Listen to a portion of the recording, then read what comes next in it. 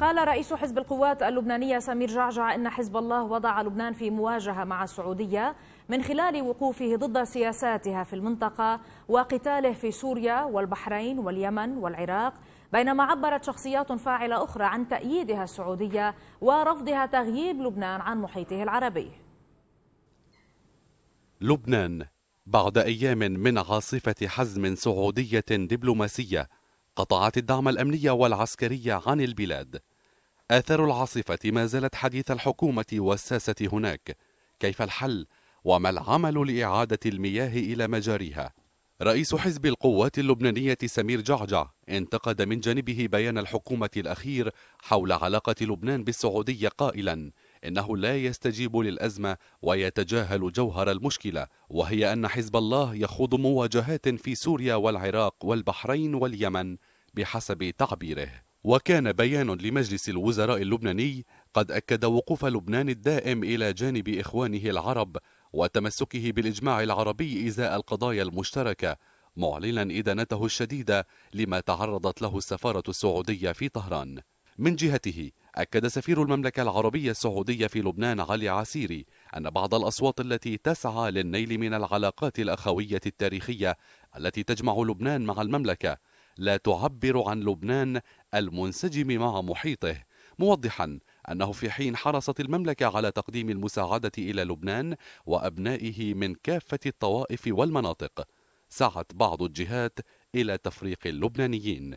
رئيس الحكومة الأسبق زعيم تيار المستقبل اللبناني سعد الحريري دعا كل اللبنانيين للتوقيع على وثيقة للتضامن مع الإجماع العربي والوفاء للدول العربية وعد الحريري هذه الوثيقة بمثابة مدخل نحو تصحيح دور لبنان وحماية انتمائه العربي.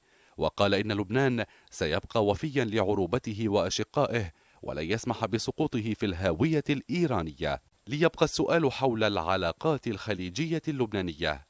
ماذا بعد؟ من بيروت معي عبر الأقمار الصناعية دكتور سامي نادر أستاذ في العلاقات الدولية. مساء الخير أهلا بك معنا دكتور سامي. دعنا نبدأ بما انتهى به التقرير. تقرير الزميل أحمد الرحاوي ماذا بعد؟ إلى أين تتجه الأمور خاصة بعد ما سمعناه آه، من المملكة العربية والإمارات العربية اليوم فيما يتعلق بالسفر إلى لبنان؟ يعني أعتقد آه، يعني أن هذا القرار يعني هو قرار تصعيدي.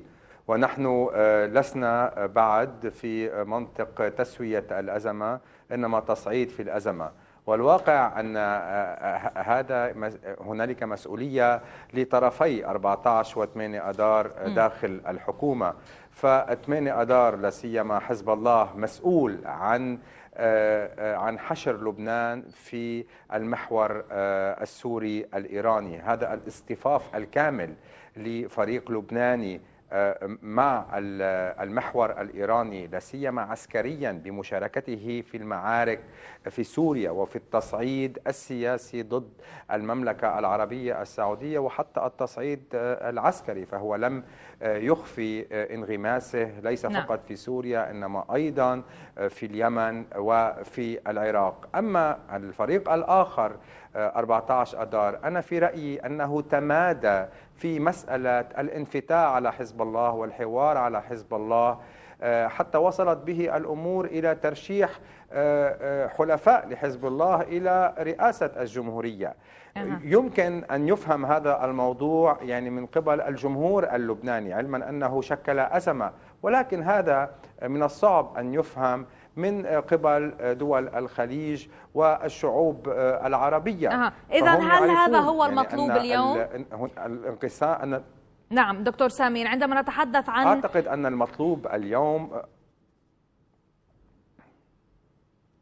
المطلوب اليوم وضوح في الرؤية وتماسك في الموقف المعارض آه، آه، لحزب الله. أعتقد أن هذا ما هو مطلوب وهذا ما يعطي آه، مصداقية للفريق المتحالف مع السعودية لأنه يعني يجب أن تقال الحقيقة أن هذا الفريق مشتت ومنقسم على نفسه آه، لم يعد متماسكا كما كان الحال بين عامي 2005 إلى عام 2011 من ثم هذه سياسات الانفتاح على حزب الله وتعدد الآراء والمناورات السياسية تارة تحت عنوان الحفاظ على المؤسسات وطورا تحت عنوان الميثاقية نعم. كل هذا أضعف حجة 14 أذار. اليوم المملكة العربية السعودية في حالة مواجهة مواجهة عسكرية مفتوحة وكذلك أيضا دول الخليج. وهم يطلبون في هذه المرحلة على الأقل وضوح في الرؤية صحيح. ووضوح في الخطة وأن كيف يجب على الحكومة اللبنانية يعني تتماشى مع تحديات وعلى المرحلة. لبنان على التحديات طبعا تتماشى مع التحديات التي تفرضها المنطقة كيف يجب أن يكون تعامل من قبل لبنان جعجع قال بأنه بيان الحكومة لا يرقى للأزمة مع السعودية آه، السفير السعودي وطلب من الحكومة أنه آه، على الحكومة أن تطلب من حزب الله الانسحاب من المواجهات ببعض الدول العربية.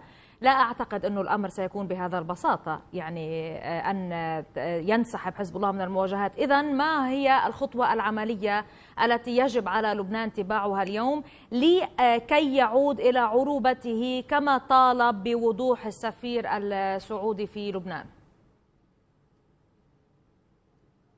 يعني أعتقد أن هنالك ثبات ووضوح بالموقف. الكل يعرف أن 14 أذار ليس بإمكانه بالإطاحة بحزب الله عسكريا وليس بإمكانه بالإطاحة بحزب الله سياسيا لا, لا انتخابات في المنظور المقبل وتمت التمديد لمجلس النواب. ولكن بإمكانه أن تكون لديه أن يكون لديه موقف موحد ويعيد توحيد قواه وأن يقوم رئيس الوزراء بمجهود أكبر على مستوى السياسة الخارجية.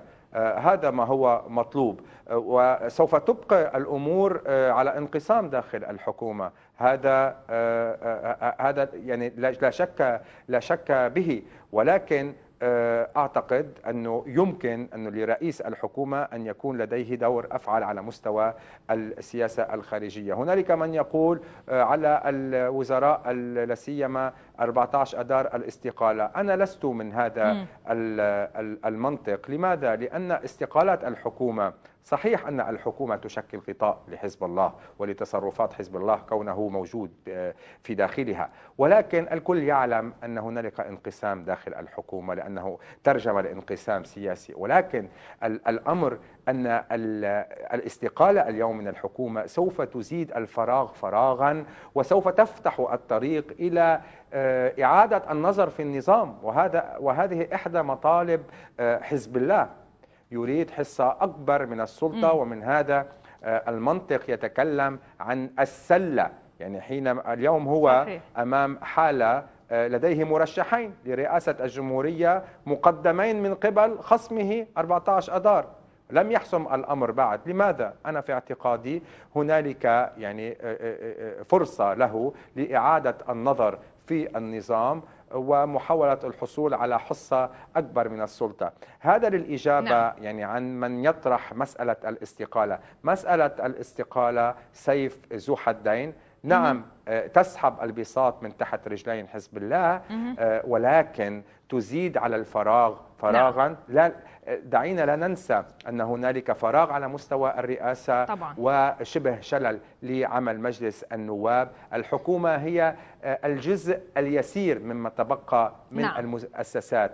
الإطاحة بها آه، مسألة آه، خطيرة جدا. أنا أشكرك جزيلا على هذه المشاركة معي من بيروت دكتور سامي نادر أستاذ في العلاقات الدولية.